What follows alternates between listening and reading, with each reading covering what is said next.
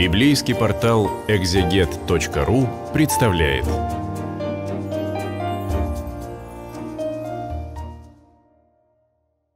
Здравствуйте, это видео для библейского портала exeget.ru. Мы продолжим разговор об книге Исаии Вавилонского. Обратимся сейчас к 41 главе. Здесь в 41 главе снова мы видим удивительную способность пророка формулировать э, свое свидетельство, свое возвещение как-то так, что э, как в призме в, ней, в нем преломляются лучи света, и мы видим с разных сторон. Или одни и те же вещи, или с одной точки зрения разные предметы, потому что здесь и разговор от Бога к Израилю, и иногда от Израиля к Богу, между Богом и язычниками или пророком и язычниками. И кроме того, здесь начинается еще одна э, такая э, тройная, наверное, надо так сказать, система э, прообразов. Потому что в книге Исаии Вавилонского мы видим как э, слова, в общем, одни и те же говорятся о царе Кире II, персидском царе Кире II, об Израиле, народе Божьем, и о служителе Господнем или отроке Господнем, о Мессии Христе. И заметить, где кончается то, что говорят о Кире, и уже начинается то, что говорят о Мессии, очень непросто, потому что Кир оказывается прообразом Мессии, но только прообразом между ними есть так сказать, гигантская разница. И одновременно судьба перед Богом Мессии и Израиля тоже двоятся. Они странным образом перемешиваются и воспроизводят друг друга судьба Мессии и судьба народа Божьего. И поэтому не всегда бывает просто определить, собственно, к кому, почему и о чем э, говорит Бог через пророка. Вот 41 глава э, – это такой мессианский гимн, который э, начинается с обращения, по крайней мере, на первый взгляд, так кажется, к Киру II. А дальше оно переходит уже в слова, которые обращены Э, скорее все-таки к Израилю и к рабу Божьему, к Мессии. Вот в начале «Умолкните острова, народы да обновят свои силы, пусть они приблизятся и скажут, э, станем вместе на суд». Но прежде чем двигаться дальше, надо на секунду затормозить свой взгляд и э, посмотреть что такое суд? Здесь вот в Библии суд. Это не так, как мы себе представляем, где там, ну, кто-нибудь держит безмен или э, рычажные весы и взвешивает там грехи э, и, наоборот, заслуги покойного, ну вот это вот все, и там бесы где-то цепляются, ну, прочие все мытарства, там этот, как положено фараону, праведник якобы что-то тоже пищит, и э, вообще не про это разговор, вообще. Станем вместе на суд. Здесь перед Невозможно даже сказать, может быть, перед Отцом Небесным, а может быть, вообще перед вот жизнью, судьбой, не знаю, правдой. Бог и язычники состязаются. И на самом деле разговор о том, на чьей стороне будет Израиль. И кто докажет свою правоту, Бог и язычники. Станем вместе на суд, э, да, умолкните передо мной острова, народы да обновят свои силы, пусть приблизятся и скажут, станем вместе на суд. Здесь на самом деле не очень получается, потому что у пророка явно недостаточно информации э, а то, для того, чтобы сказать, перед кем они судятся, перед кем ну и правильно, Иов потом не зря, в смысле автор книги Иова, не зря будет писать о том, что ты сам судья, ты сам обвинитель, ты сам будь тогда и защитником. Вот это парадоксальная ситуация. Тем не менее, суд заключается в том, что вот пришли двое, один говорит, идолы глупость, другие говорят, наши идолы самые шибкие, э, мы вообще тут всех победим. Ну вот представляете доказательство, состязание такое между двумя путями, путь, путем, между путем правды Бога, свидетелями, э, которые в конце концов становятся израильтяне, и путями язычников. Вот э, дальше мы еще не раз увидим, э, как работает эта картина, эта идея суда Божьего здесь у Исаи, совершенно не похожего на тот суд Божий, который по нелепости и не более чем нелепости представляем мы себе в связи с разными вот этими мифами э, на тему мытарства и прочих глупостей. Итак, кто воздвиг от востока мужа правды? Это как бы на суде реплика Бога в состязании с язычниками. Язычники, наш лунный бог, самый-самый, вот все хорошо. Он говорит, да, хорошо, а вот мужа правды от Востока, кто вас двиг? Это вы, это у ваших богов на это хватило силы или нет? Кто вас двиг от Востока мужа правды, призвал его следовать за собою, предал ему народы и покорил царей. И все, и тут не поспоришь, потому что да, Кир II покорил царей, народы, нагнанные вавилонянами в Междуречье, э, подчинились ему, и Кир в конце концов разослал их всех по домам. Он обратил царей мечом в прах, луком в солому. Кто это все сделал и совершил? Потому что еще тоже не забывайте, что вся вот эта вот вавилонская синкретическая религиозность, они там всех богов сразу до кучи э, призывали э, в качестве средства против царя Кира. Ничего не вышло, естественно. Вот кто это все сделал? И Бог говорит, это я сделал. Тот, кто от начала вызывает роды. Я Господь первый, и в последних я тот же. Я первый, и я последний.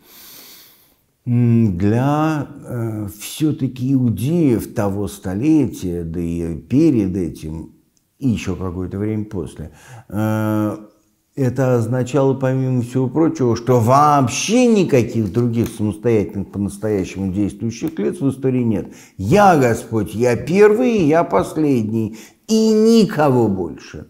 Происходит то, что я считаю нужным. Удивительно при этом, что говорится о том, что Израиль э, смог взбунтоваться перед Богом, при том, что вообще говоря, никакие народы не могут ему противиться. И здесь тоже где-то на заднем плане маячит такой необсуждаемый парадокс всемогущества Божьего и человеческой свободы. Исаия же продолжает. «Я Господь, я первый, и в последних я тот же. И вот он говорит, что все народы Вавилонии, все народы земли тут же начали военные приготовления, э, каждый помогает товарищу, кузнец ободряет плавильщика, э, изготовитель брони, кующего на наковальне. Короче говоря, вот это вот все, что мы теперь называем красивым словом милитаризация экономики. Вот это вот укрепление обороноспособности тоже. Это все делают язычники, пытаясь защититься от царя Кира, но э, это бесполезно, потому что ну, невозможно с Богом состязаться. А ты, Израиль, раб мой, Иаков, которого я избрал, семя Авраама, друга моего. Посмотрите, какой концентрированный на самом деле текст. Ну, во-первых, Бог здесь называет Авраама своим другом. Потрясающее определение. Все вроде раб, раб, рабы, рабы. Друг мой. И вот вы э, я уже не называю вас рабами, называю друзьями, скажет потом Господь Иисус Христос. Вот местами, как здесь, вдруг как вот луч света сияет вот это другое, не рабско-хозяйское, а дружеское отношение Господа к своим людям, по крайней мере, к некоторым. «Ты, Израиль, раб мой, Иаков, которого я избрал». То есть, ну, вроде как по этим словам получается, что они все потомки Авраама, друга Божьего, и именно народ Божий называется рабом Божьим. Э, Израиль или Иаков, раб Божий, народ Божий, отрок Господень, Эведа. Дело еще тоже, знаете, в том, что со времен, по крайней мере, Моисея, ну или записи Моисея, да, и последующих судей, там Иисуса Новина, других, вот э, этим словом отрок Господень называется э, политический и религиозный лидер Израиля. Политический и религиозный лидер Израиля. Царь Давид тоже назван таким же Э, рабом или отроком Господним. В нашей синодальной Библии все же чаще переводится это как раб, но вот здесь э, в книге Второй Исаии иногда как отрок, когда речь идет более явным образом о Мессии. Но выражение-то одно. Значит, раб мой – это тот, вот через кого Бог действует, через кого Бог э, дает спасение ты, которого я взял от концов земли, призвал от краев ее, сказал тебе, ты раб мой, я избрал тебя и не отвергну тебя. Я избрал тебя и не отвергну тебя. Стал быть, вот это вот рабство, э, служение на самом деле Богу, служение, принадлежность Богу, вот обусловлено тем, чтобы так Бог выбрал – и это невозможно изменить. Я тебя не отвергну. Э, помогу тебе, поддержу тебя. Господь говорит, смотрите, начался-то текст как будто без перерыва э, обращением к Керу второму. Потом через суд вот, он обращается к Израилю и говорит, будут в стыде и посрамлении все раздраженные против тебя, будут как ничто, совершенное ничто, потому что я, Господь Бог твой, держу тебя за правую руку. Ну и, э, вероятно, все-таки это тоже относится к э, Израилю, рабу Божьему. Во всех этих драматических перипетиях войны и политического переустройства э, соответствующих обществ, распадающихся, конечно, очень страшно, и, конечно, израильтяне выглядят совершенно беззащитными. У них нет ни политической, ни военной силы, экономической и культурной тоже очень мало, и в конце концов, э, да, в эпоху торжествующего меча не очень-то это и поможет. И вот Господь говорит, не бойся, червь Иаков, малолюдный Израиль, я помогаю тебе. А, сила, надежда Израиля на спасение не в том, что а, у них есть какая-то мощь, а в том, что Бог помогает, а, Бог поддерживает его. «Искупитель твой святый Израилев».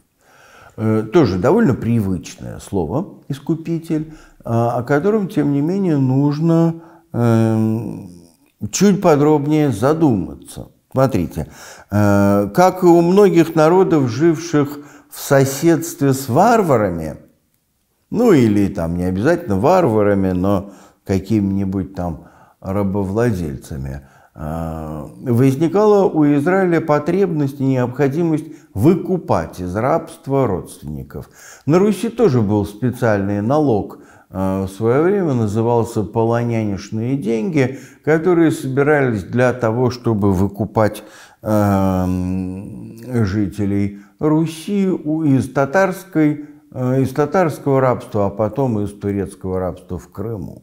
Ну вот, ну и э, по закону Моисееву обязанность собирать деньги э, на то, чтобы выкупить человека из рабства, в общем, падала на его ближайшую родню. На его ближайшую родню.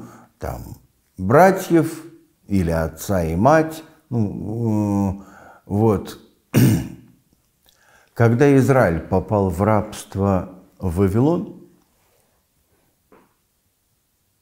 Безнадежная ситуация, потому что у него нет ни братьев, ни отца, ни родни никакой. Нет никого, кто выкупил бы Израиль из этого рабства. И вот тогда Господь говорит, я буду выкупать тебя.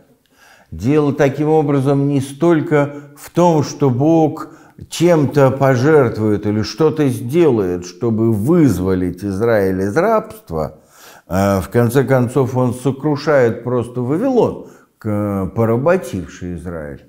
Вот. А дело в том, что Бог говорит о себе как о ближайшем родственнике. «Я твой брат». Ну, это для нашего уха вообще невозможно услышать. А, «Я отец». «Ты отец наш, мы глина, а ты образователь наш», скажет чуть позже а, как раз Исаия Вавилонский. Понимаете, здесь, когда Бог говорит о том, что Он искупитель, это, это означает признание ближайшего, неразрываемого родства между Богом и Его народом. И вот это вот совершенно поразительное откровение, которое явно необходимо было услышать современникам Исаия Вавилонского – и дальше обращается он к Израилю говорит, всех вот этих вот там, которые э, против тебя, вихрь развеет, а ты возрадуешься о Господе, будешь хвалиться святым Израилевым, потому что я Бог Израилев и не оставлю их. Ну, мы привыкли хвастаться тем, какие мы молодцы. А на самом деле это никакого смысла не имеет. Хвалиться – это значит говорить, вот как прекрасен наш Бог. Вот как прекрасен Бог, который назвал нас своими ближайшими родственниками и э, выкупает из рабства, из плена. Дальше снова продолжается вот состязание э, с идолами, тот суд, станем вместе на суд, было сказано в начале главы, суд, который никуда не э, уходил, не прекращался. И э, здесь Господь обращается снова к язычникам, даже скорее, может быть, к идолам. Э, «Представьте дело ваше, приведите ваши доказательства», говорит царь Иакова. «Пусть они представят и скажут нам, что произойдет». Ну вот, прям такой судебный поединок. Ну пусть эти идолы придут сюда и будут нам рассказывать, что нас ждет впереди. А мы посмотрим, мы будем, скажите, что произойдет в будущем, мы будем знать, что вы боги. А, слушайте, на самом деле, конечно, в большинстве переводов, в том числе в нашем синодальном, это звучит так, ну, до некоторой степени иронично. На самом деле там неприкрытый сарказм э, и, в общем, довольно такой, я бы сказал, грубоватый. Ну, вот по отношению к идолам, да, здесь говорится, ну хорошо, давайте расскажите нам, что будет, ну мы тогда посмотрим, какие из вас получились боги, мы будем знать, что вы боги. Да, но вы на самом деле ничто, и дело ваше ничтожное, и мерзость тот, кто избирает вас. Ну, еще царь Кирк не победил. Похоже. Ну вот. И всему этому своему языческому окружению пророк говорит, вы ничто, и дело ваше ничтожно. А, ну, может быть, отношение израильтян к идолопоклонству выражалось и чрезмерно саркастично. Тут трудно сказать, хотя говорят, что там античный антисемитизм был до некоторой степени этим вызван тоже. Но ведь ну, ну в самом же деле, понимаете, ну это же бред, это же абсурд. А, ну Бог один, и существует только Он. А все остальное, вот идет все идолы, это прекрасные художественные произведения человеческих рук, не более того. Вот э, я бы сказал, здесь необходимость быть вежливыми сталкивается с необходимостью говорить правду. Ну и, в общем, не так легко в любую эпоху найти здесь э, правильный путь. А дальше опять разговор возвращается к царю Киру, потому что Бог говорил, вот предскажите, мы посмотрим, какие вы боги. А потом он показывает как бы руками, рукой на царя Кира, говорит, а вот я вот вам говорил, что придет с востока муж сей. Вот он, вот он, я воздвиг его от севера, он придет. И придет, и тогда вы увидите. Я первый сказал Сиону, вот оно, и дал Иерусалиму благовестника. Я вам заранее сказал, что время избавления приблизилось, вот-вот оно э, начнется. А эти самые идолы все ничтожные, э, нич, все они ничто, ничтожные дела их, ветер и пустота и истуканы.